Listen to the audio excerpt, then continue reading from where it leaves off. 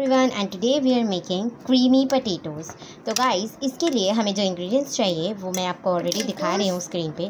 Mash potatoes boiled and mash potatoes and we will need oregano and black pepper and we will need boiled milk boiled milk and we will need Amul butter ten rupees वाली जो छोटी सी टिक्की आती है, हमें उसकी चाहिए Amul butter and here we will we will need this salt so first of all I need you all to meet my electric mixture.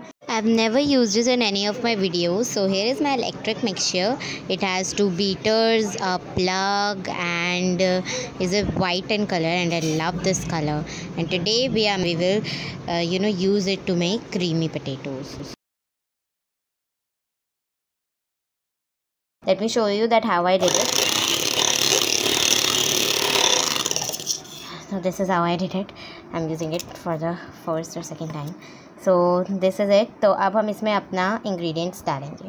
So guys first of all इसको लगातार चलाते हुए we will add our half cup of milk into it and I will show it to you after adding half cup of milk and after adding milk you can see how the texture is you can see how the texture is creamy and soft yes so we will scrape down the boil as needed and now we will add our next ingredient that is butter and with the mixture turned off we will add our amul butter so let's add our छोटी whole वाली amul butter so guys अब हम mixture on के साथ इसे चलाएंगे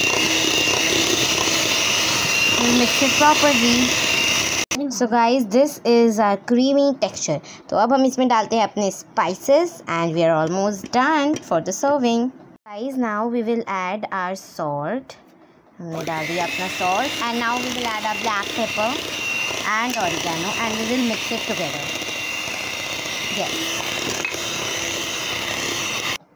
So guys this is it and we have creamy हो गया है। ये जब तक क्रीमी ना टेक्सचर ना आ जाए इसका हमें तब तक इसे बीट करते रहना और ये. हमारा आ गया है क्रीमी टेक्सचर इसलिए हमने छोड़ दिया। सो आई थिंक अब हम इसे प्लेटिंग करेंगे। गाइस फाइनली इट्स रेडी आप इसे कोई भी लीफ के साथ यस इसके कोई भी लीफ के साथ खा सर्व कर सकते हैं गार्निश कर सकते हैं बट मैंने इसे garnish normally so first time है टेस्ट टेस्ट का। So the time I was waiting for the taste taste okay so here it goes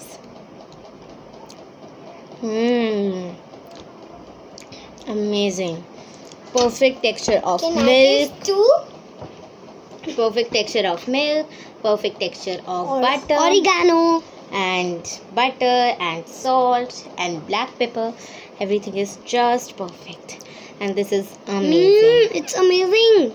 hmm and the best is to कि आप electric इसे mixture use करें अब से tea time में भी खा सकते हैं ठीक है it's best कि आप electric mixture use करें but if you don't have electric mixture it's totally fine you can also use normal whisker to whisk it okay hey guys इसका सैंडविच बन जाएगा बहुत टेस्टी लगेगा So I hope you like today's recipe. If you like, don't forget to like, share, and subscribe to our channel. Bye. Bye. See you soon.